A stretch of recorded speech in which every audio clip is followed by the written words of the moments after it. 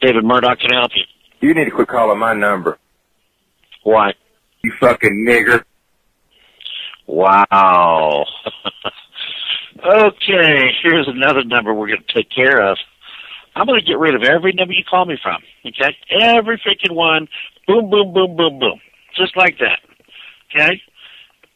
By the way, you shouldn't use uh, that uh, word uh, nigger. That's a that's a blasphemous word. Okay, that's uh, very racial. And uh, you know, me being uh, an absolute, uh, uh, you know, I love all God's children. Okay, so you know, the, you should go and wash your mouth. In fact, why don't you wash your mouth out with soap? Two one nine. I'll come kill you, nigger. Oh, gee. You goddamn big sucker. You know what? Nine three eight. Uh, uh, Look, you son of a bitch. I ever find out where you're at. You're Eight fucking four two nine. This number be uh, this thing would be blocked here within the hour. Bitch. I'll be right over there.